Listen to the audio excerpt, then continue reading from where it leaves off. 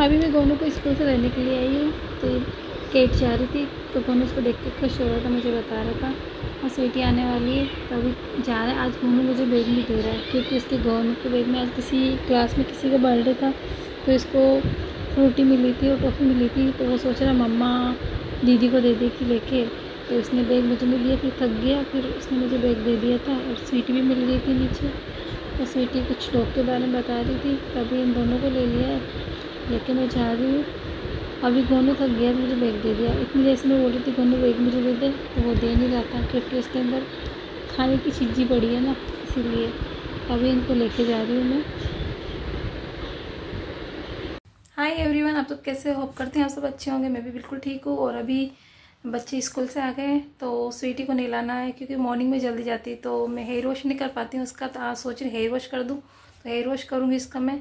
तो अभी धूप भी आ रही है अच्छे से तो उसको नहला देती हूँ मैं।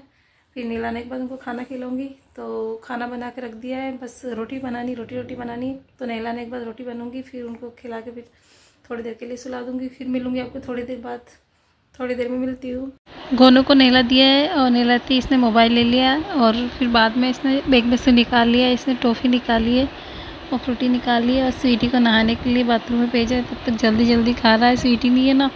तो जल्दी से बैग से निकाला और नहाती खाने लग गया कि दीदी नहीं खा ले और स्वीटी का मैं हेयर वॉश करूँगी तो मैं अभी बाद में जाने वाली इसको, इसका चेंज वगैरह करवाना था, बाल वगैरह बनाना था, बना लिए मैंने। अभी स्वीटी को नहलाने के बाद मैं किचन में आ गई, रोटी बना रही रोटी बनानी बस। इधर स्वीटी बाल सुखा रही है तो स्वीटी इधर बाल सुखा रही है। धूप आ रही है तो मैंने कहा थोड़ी देर के लिए बाल बना ले बा, बालकनी में जाके तब तक मैं रोटी भी बना लूँगी फिर साथ में मिलके खाएँगे सभी।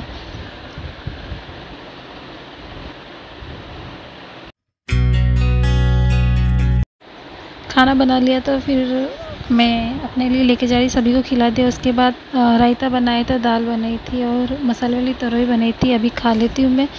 खाना खा लिया खाना खाने के बाद बच्चे पढ़ाई कर रहे हैं। ये दूध पी, चाय दूध का टाइम हो गया है। खाना खाने के बाद थोड़ी देर बाद तो फिर इनको सुलाया था, सो के ये खड़े हो गए तो इनको दूध दे दिया है और मैंने अपने लिए चाय बनाई है।